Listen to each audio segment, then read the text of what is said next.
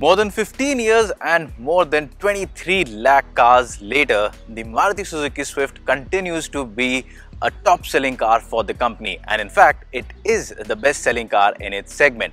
Now all these years the Swift has enjoyed the status of being a very driver friendly car but over the last few years we have seen new competition coming in and especially from the turbocharged petrol cars.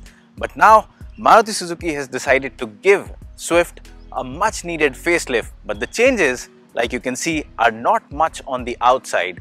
Most of these changes are inside and what do these changes mean for you and what is the change in prices and can the Swift still fend off its competition well enough? Let's find out.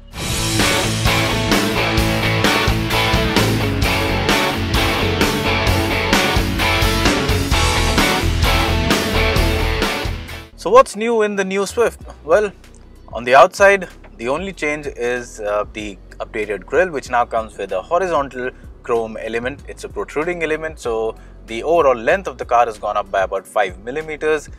That's about it. Of course, there are new color options so you can have the red car with a black roof or a blue car with a white roof or a white car with a black roof. You also get auto retractable ORVMs. So that's about it as far as the external changes are concerned. In the cabin again the story is pretty much the same, not any radical change that you will notice once you step inside but look closely and there are some changes. The touchscreen is a smart play system, it supports Android Auto, Apple CarPlay, so on that front you're pretty sorted, no issues on that.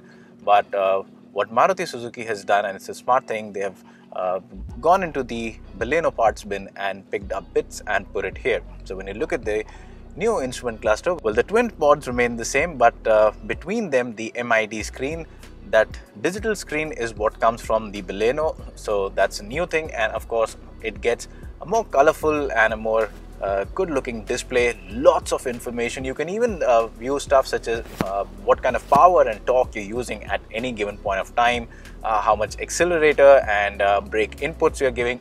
So a lot of that in addition to the usual information that is available. So that's a good thing. Uh, beyond that not much of a change inside the cabin.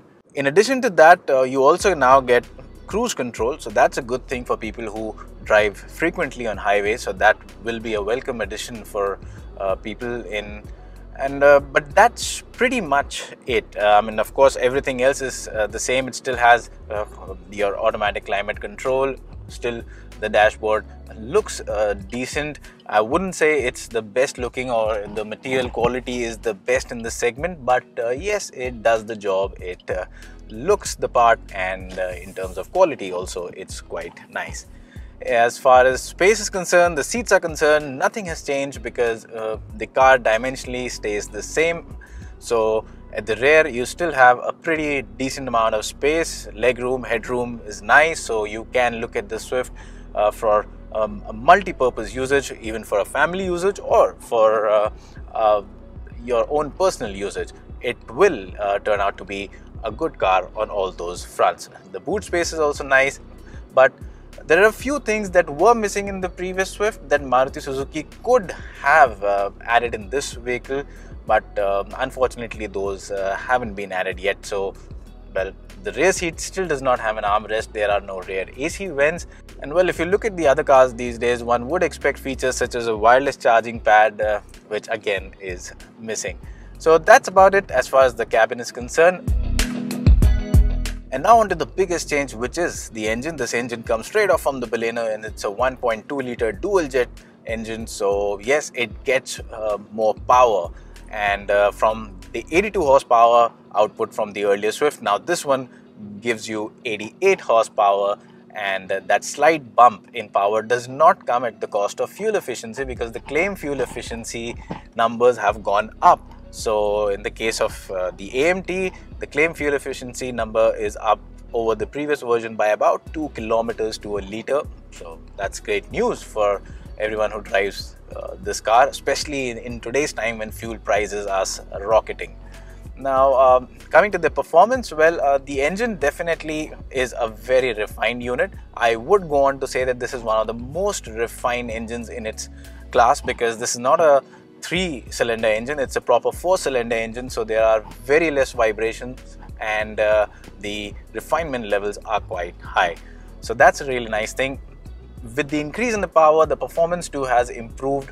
Uh, I would say not greatly, but yes, uh, the difference is perceivable. So you now drive the Swift with the new engine and you feel it's slightly quicker.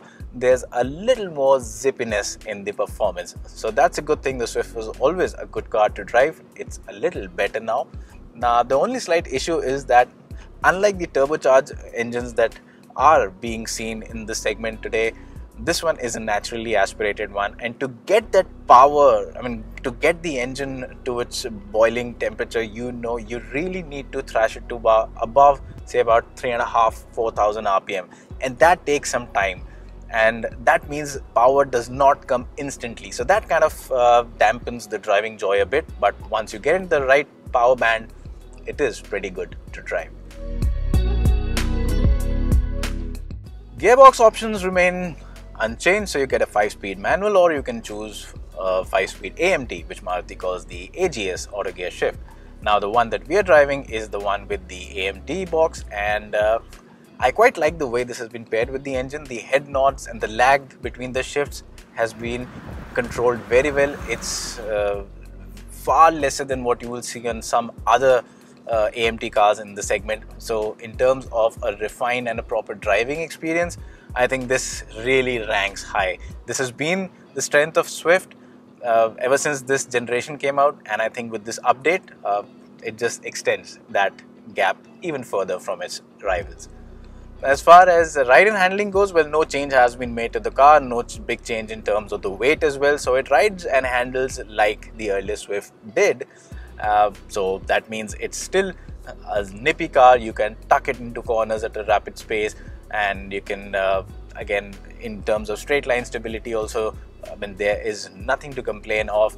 The suspension is uh, set slightly on the firmer side. So that means that once you get going uh, up to a certain speed or beyond that the ride quality improves considerably at lower speeds.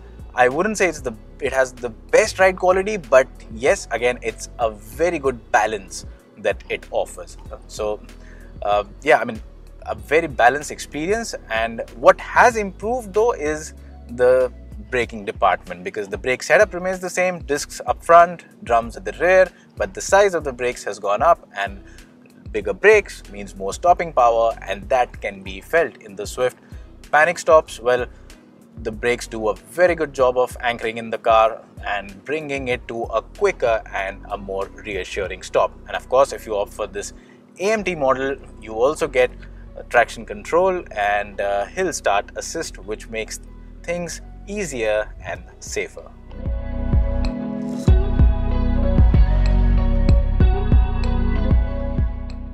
The updated Maruti Suzuki Swift then is more powerful yet more fuel efficient and at the same time it now gets a few new convenience features.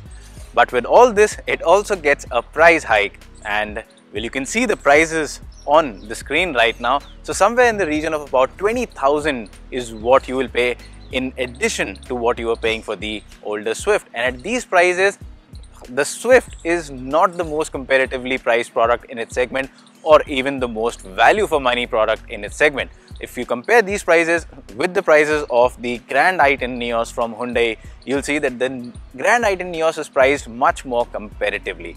But the Swift now is better. It continues to be a car that is fun to drive, hassle-free to drive and at the same time it balances a lot of things very well and now it's more powerful and has new features. So yes, it's better than ever, not the best, but that doesn't make a big difference because the Swift has something that no other car has in the segment and that is what matters to a lot of Indians and that thing is this badge. The Swift is a Maruti Suzuki.